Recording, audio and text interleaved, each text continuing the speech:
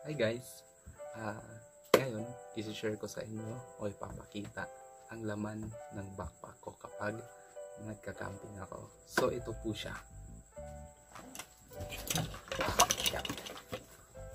Ang tawag po dito is the North Face mm, Fuse Packs.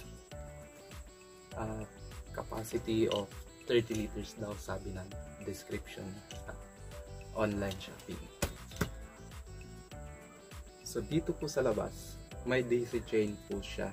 Dito ko ina-attach yung GBL Go 3 ko, Nalgene, at yung knife ko.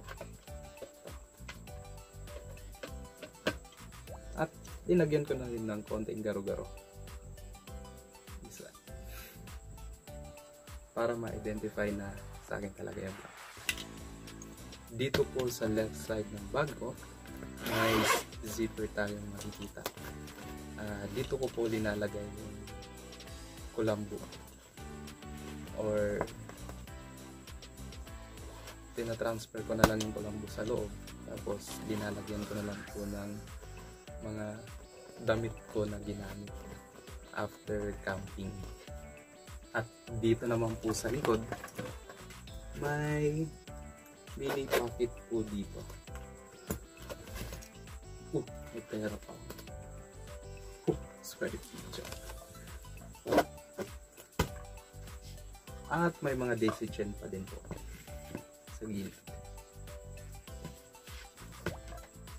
So ngayon po, dito tayo naman sa loob ng bag ko kung ano ba talaga ang laman nito. Okay. Tada! Okay, okay ka. Una, yung laman ng bag ko is syempre first aid kit.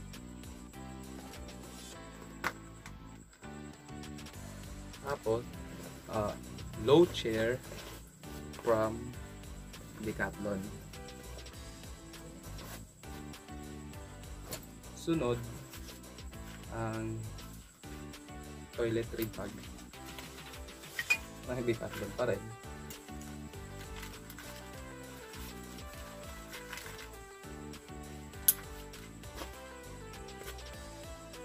Tapos, nilibangan ko kapag natulog ako.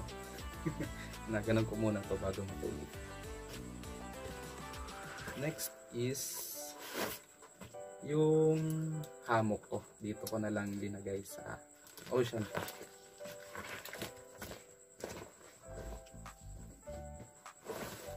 From Fabian.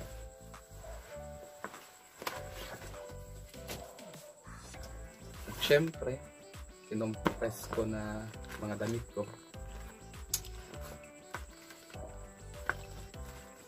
Sa ocean pack pa din inagay para makompress lang. At rain tarp from Sprack Outdoors. At syempre,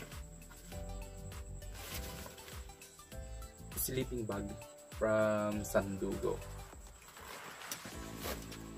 Yun lang. Dito naman nandito sa loob yung syempre sunscreen ko ginagamit.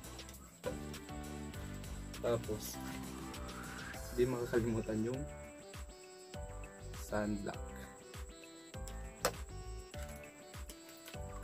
AirPods,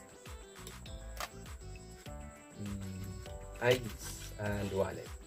Dito na. So, yun nga po yung laman ng bag ko kapag nagka-camping ako.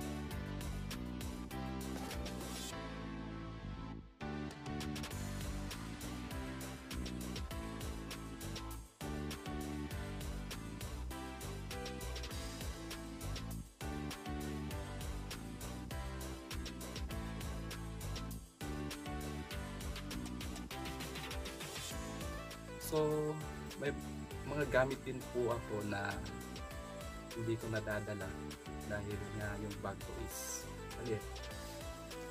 Ito yung gamit na hindi ko madala-dala. Ah, folding table from Decathlon also. And ang tent ko na fresh and black na good for 3 person. So, ayun po. Yun po yung mga dinadala ko kapag nagka-camping ako. Sana po nagustuhan niyo yung video. And thanks for watching. Bye-bye for now.